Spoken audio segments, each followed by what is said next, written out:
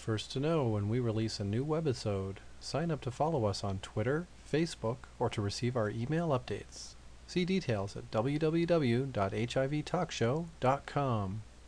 What I realized um, exists in the black gay community, but more so just the black community at large, is we don't really talk about sex. Like I was raised, we, I didn't have conversation with about sex with my parents, or I didn't even talk to my brothers about sex. Not really, not like in-depth conversations of what you do, what you don't do, and things like that. And I think that, you know, well, um, I used to live in New York, and while I was in New York, um, there was a, a campaign that was running called HIV Stops With Me, and as part of the campaign, it had I think it was eight spokesmodels, and they're basically just people that are HIV positive that you know want to share their story and share their message with the world at large. It started in New York, and I think it's probably started in California as well. But when I was chosen as a spokesmodel for the campaign, um, I, knew that there were still family members that, that I had that did not know that I was positive. And you know, I, I, I went through the, through the debate in my head because you know, I hadn't had that conversation. They might hear because of the campaign, and I didn't want them to hear it that way. Um, but I just grappled with it in my head because, you know, again, I grew up, we didn't talk about sex. So how do I bring up this very uh, important and, and personal thing to my family and my friends?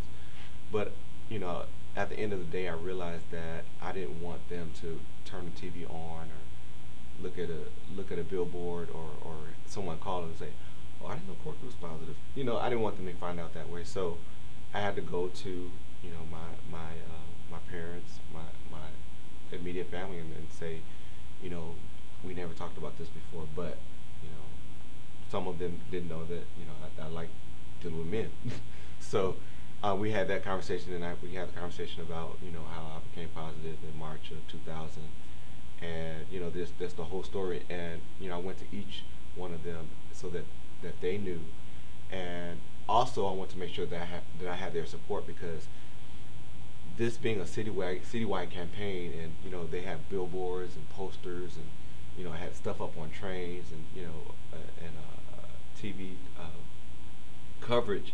You know I didn't I didn't want to do something like that without having the support of my friends and my family that were closest to me. And so that was another reason why I went to them, and I was like, you know, this is what's going on with me. I need to know that I have your support uh, in going forward because if I did not, this, I don't think that I could have done a campaign of this magnitude. Uh, but you know, thankfully, thankfully, uh, all of my family they they were behind me 100 percent. Um, they supported me, and and to this day they still do. And you know, um, we still don't have a lot of conversations about sex, but I mean, it's, it's something that we talk about a little bit more simply because I, you know, opened up to them and, and, and let them know, you know, this is me. So, Michael, when you were talking to your friends and in your college room that night, how how how did you feel comfortable talking about it and sharing and? Yes. Um. Well. Yes and no. I, I feel like that's a you know a very dichotomy situation, right? I think that there are there are people and spaces that you feel comfortable talking about certain things with, and I think that there are, you know, people in spaces that you don't feel comfortable talking about certain things with, right?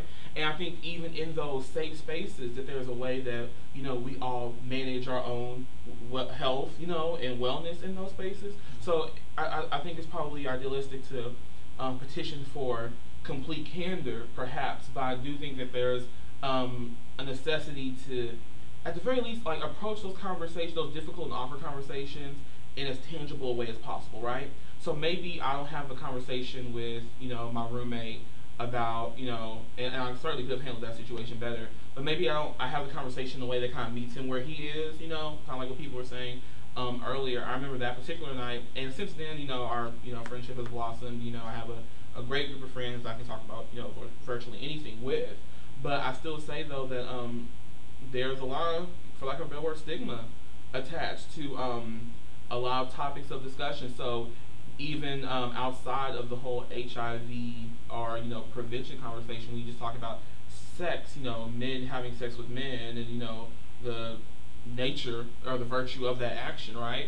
There's a lot of stigma attached to that. So, you know, not only am I not going to tell you, you know, about the unsafe um, behaviors I'm participating in because maybe I'm, you know, ashamed of receiving penetrative sex, or maybe I'm ashamed of certain people um, that I've had sex with, or maybe I'm ashamed of um, certain experiences or, or sexual practices that I enjoy, right? And so that all, you know, that kind of um, that kind of bias, right, and oppression kind of lends its way into, you know, kind of wrapping the conversation around HIV and binding it in such a way that it's not accessible to people.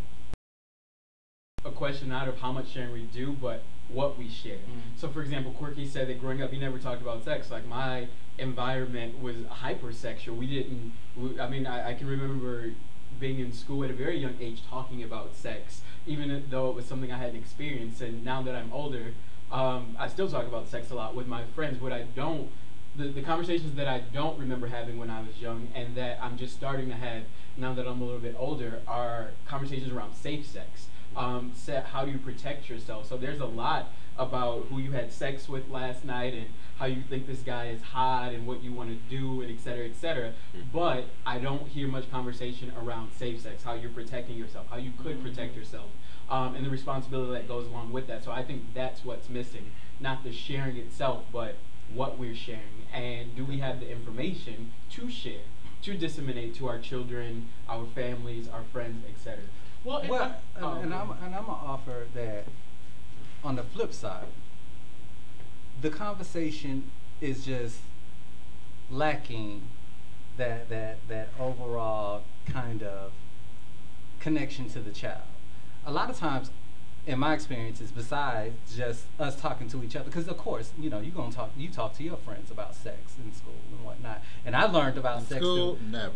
You never talk to your Never. friends. Oh, I'm, I'm so 40. sorry. I, no, no, no. When I I'm was in school, I was in school. I look, we were talking about that in first Uh, grade, but no, I'm saying like But at 41, uh, yes. when, But with, in school now.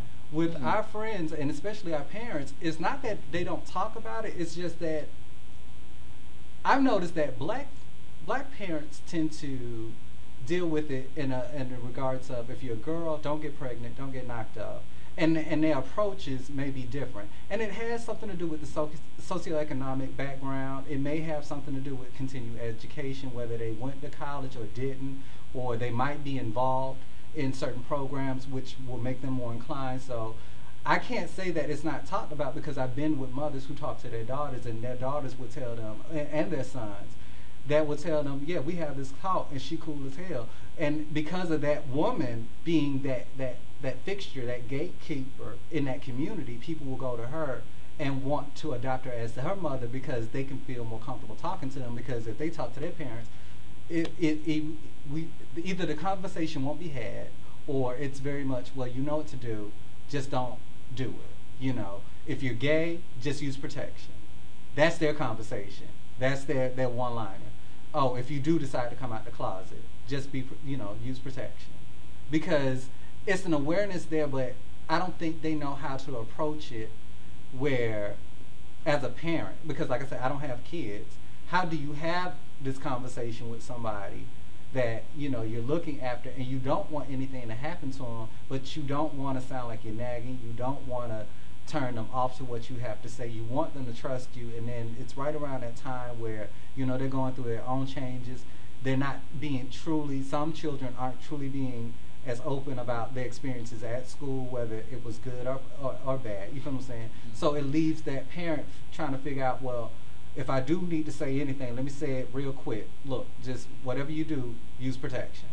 So I can't say that the conversation isn't had. It may not be had the way that we we would like to envision it being had. Like, I, no, we're not going to have a seminar from our parents. What about No. the messages as gay men we give to each other? What about the conversations we have? Because I'm thinking about, and I don't know what, y- what y'all's experiences were, but when I first came out, the way I was sort of socialized into the gay community was, you know, you have to pick if you're going to be a top or a bottom. That's one Mhm. message about sex. You have to pick, you know, then you, you, you know, the stuff around anal health you don't really hear a lot about. Like, so if you decide to get penetrated, you don't really.